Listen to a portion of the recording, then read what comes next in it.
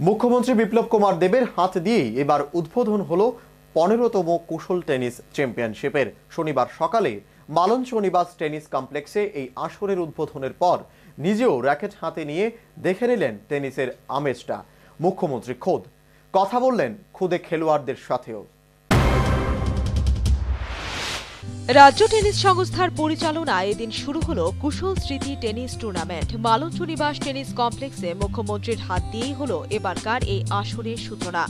অনুষ্ঠানের শুরুতেই মুখ্যমন্ত্রীকে উত্তরীয় পরিয়ে অভিবাদন জানানো হয় রাজ্য সংস্থার তরফে। টেনিস নিয়ে মুখ্যমন্ত্রীও যে ভীষণ ভালোবাসা পরায়ণ তা দেখা গেল এদিন কোর্টে। উদ্বোধনের পর র্যাকেট হাতে নিয়ে তিনি নিজেও একটু খেললেন টেনিস। কথা বললেন খুদেদের সঙ্গেও।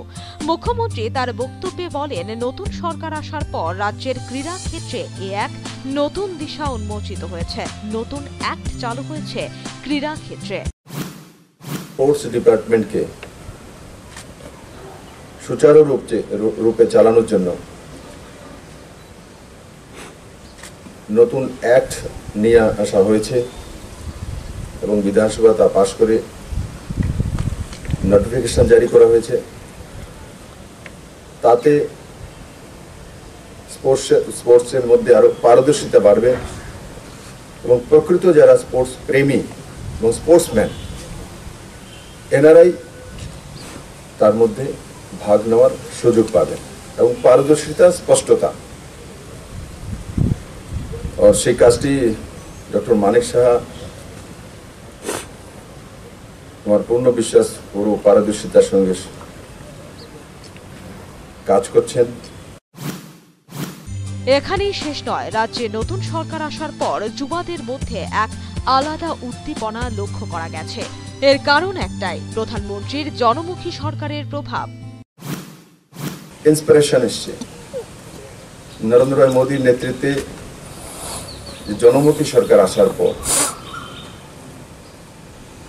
নরেন্দ্র ভাই মোদী খেলো ইন্ডিয়ার নাড়া দিয়েছেন।